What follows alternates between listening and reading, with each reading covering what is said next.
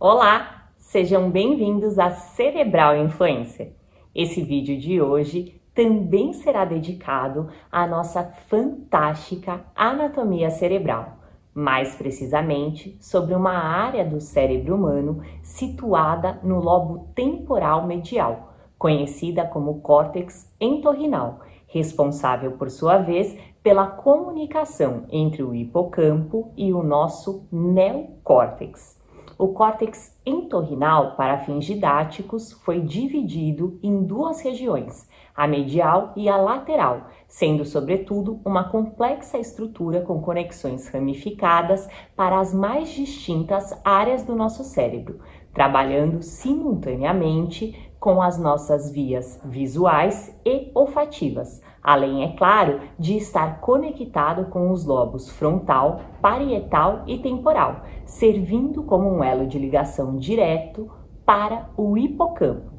O aumento do interesse sobre o córtex entorrinal Contudo, iniciou-se no final do século XIX, com Santiago Ramon e Cajal, um médico e histologista espanhol ganhador do Prêmio Nobel de Fisiologia e Medicina em 1906, considerado por muitos como o pai da neurociência moderna sendo justamente ao longo de suas pesquisas sobre as funções do sistema nervoso central, inclusive, que uma parte importante do córtex temporal posterior foi descoberta, despertando muita atenção, especialmente na comunidade científica.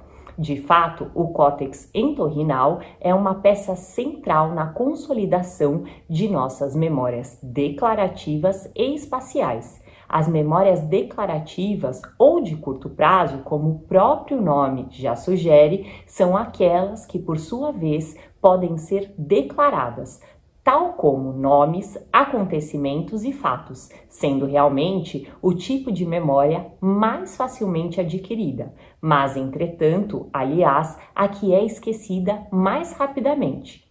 A memória declarativa também é conhecida como memória explícita, ou seja, aquela memória que chega ao nível da nossa consciência.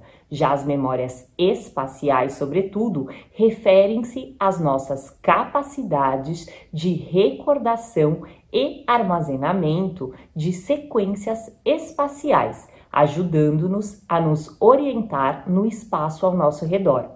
Por manter uma íntima conexão com o hipocampo, o córtex entorrinal, entre outras coisas, permite-nos, desse modo, consolidar os eventos que formam as nossas memórias declarativas, episódicas e semânticas, sendo, sobretudo, nesta área cerebral que é definida a nossa identidade e história pessoal.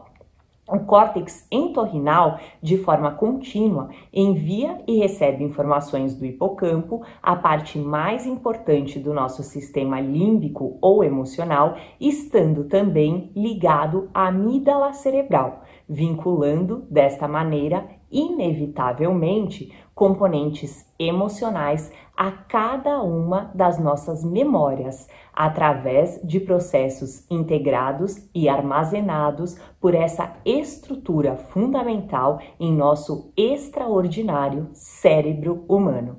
E você já conhecia ou tinha ouvido falar do córtex entorrinal? Então, venha pensar fora da caixinha. Acesse www.cerebralinfluencer.com.br.